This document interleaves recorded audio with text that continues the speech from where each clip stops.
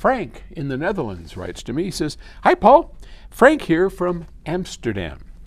I have a question about audio signal isolators that you always see in those fancy wooden boxes that prevent your cables from noise that you don't want into your system or getting into your speakers. My question is Is it really rocket science what's put into those fancy speaker cable boxes? Or is it possible to make it by yourself if you are handy enough with electronics? Because I see many on the market, but all cables with a fancy box aren't cheap and are too expensive for me to open and just for a look. Because if I had the money tree in my backyard, I would probably have demolished already a couple of them just out of interest. Okay, so if we're talking about the same thing, I haven't seen it a whole lot anymore. Years ago, especially in speaker cables, but I think both MIT and Transparent had it on interconnects as well.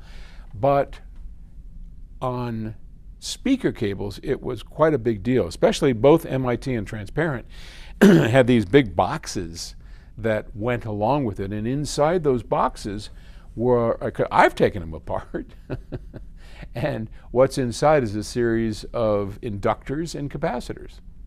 And I don't know if you could just do that yourself. You'd have to, because look, what you're what you're trying to do, what they are trying to do, as best I understand it, is smooth out some of the impedance uh, points along the way. If you think about, especially in a speaker cable, and hooked up to a loudspeaker, especially a dynamic loudspeaker, the impedance is bouncing all over the place, and cables like to have a constant impedance to go into. So if you look at, oh, say a digital cable or a, uh, a pro cable, if it's set up for a standard of say 600 ohms, it likes to see that steady 600 ohms because there's reflections, there's all kinds of things going on inside that cable, more than just delivering the straight, excuse me, more than just delivering the straight signal between the two, there's a lot of interactions going on. And as best I understand it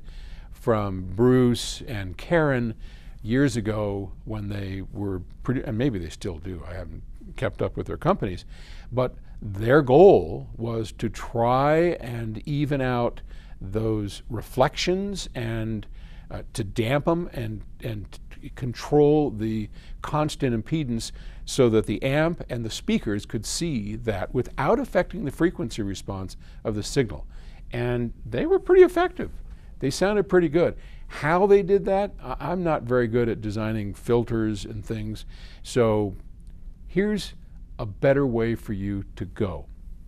Today, you can buy programs like LT Spice or prob I, I mean I haven't looked into these modeling programs uh, recently, but there are some that are very inexpensive. There's probably some free ones on that where you can model, uh, and we use a multi, we use LT Spice when we first design whether it's a complex electronic piece or whether it's a very simple passive piece, we model it in these modeling programs. And they have signals, and you can tell it, you know, dynamically, they work dynamically. here's your load, and you can set it all up to be a dynamic load that mimics a loudspeaker, and this one could mimic a power amplifier. And then in between, you could, for no money at all, screw around with L's and C's and R's and see if you can't come up with something that really smooths out that, that uh, impedance uh, curve. And you might find something. And then if it works, then go down to the store, buy your little coils and stuff, and make your own thing and see how it sounds. Best advice I got. Okay. Hope that helps. Take it easy. Hmm, bye.